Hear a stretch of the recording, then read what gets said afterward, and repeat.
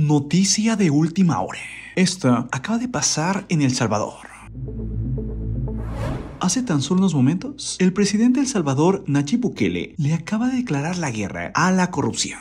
Él ha dicho lo siguiente y cita, así como hemos combatido frontalmente a las pandillas, con toda la fuerza del Estado y con todas las herramientas legales que podemos, sin titubear en ningún momento, así también iniciaremos una guerra frontal contra la corrupción así como desplegamos a las fuerzas de seguridad del Estado y acorralamos a los pandilleros hasta llevarlos a la cárcel, así también actuaremos con los delincuentes de cuello blanco. Vengan de donde vengan, porque nadie tiene derecho a ser corrupto, que nadie piense que tiene blindaje, no importa si robó hace uno, cinco o 30 años, porque les recuerdo que los delitos de corrupción ya no se prescriben. Vamos a ir tras cada corrupto en este país. No nos va a temblar la mano para obligarlos a pagar el daño que han causado al pueblo salvadoreño, así como no nos ha temblado para erradicar las pandillas. No vamos a titubear para erradicar la corrupción.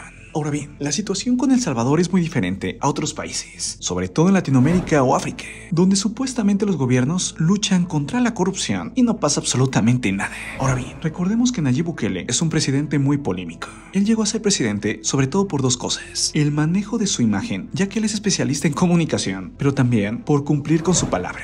Él aseguró que llegando a ser presidente iba a acabar con la violencia en El Salvador, uno de los países que ha sido devastado por esto, sobre todo por las pandillas, quienes se habían apoderado de El Salvador. Y es que la cantidad de gente que perdía cada día la vida por la violencia generada por las pandillas era realmente terrible. Niveles perturbadores. Nayib Bukele dio con todo, les quitó sus derechos, puso al país en estado de emergencia y alerta, detuvo a cualquiera de que tuviera aunque sea un pequeño indicio de estar relacionados con las pandillas, mandó a destruir todo lo relacionado con las pandillas, como las tumbas, dejando en claro que El Salvador ya no iba a aceptar, ni admirar, ni a permitir nada que tuviera que ver con las pandillas. Ahora bien, esto en un principio sonaba muy perfecto, y luego construyó una cárcel gigante para poder meter ahí a todos los pandilleros, prometiendo que quien quisiera cambiar se le iba a dar una oportunidad, pero quien no, lo iba a pagar muy caro. Hasta ahí todo parece perfecto, pero ha sido acusado de dos cosas. La primera, de no respetar los derechos humanos, lo cual es muy debatible, pero también se le acusó que su gobierno era poco transparente, sobre todo en cuestión de gastos, y que realmente podría estar escondiendo mucha corrupción y que su gobierno estuviera robando al pueblo.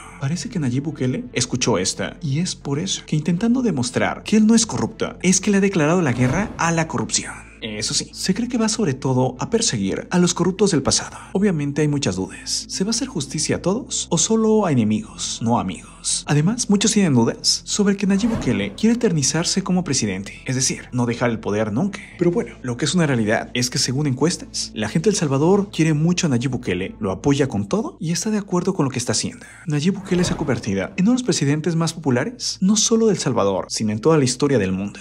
Actualmente es considerado un héroe, pero muchos se preguntan, ¿mueres como héroe o vives lo suficiente para convertirte en villano? Es decir, Nayib Bukele va a dejar la presidencia siendo un héroe o la va a dejar siendo un villano. Déjame tu opinión en la caja de comentarios. Quiero conocerla. Lo que es una realidad es que en Salvador quieren a Nayib Bukele y en muchos países quieren tener un presidente como Nayib Bukele. Yo soy Marco Antonio C. Nos vemos pronto. Un abrazo fuerte. Bye.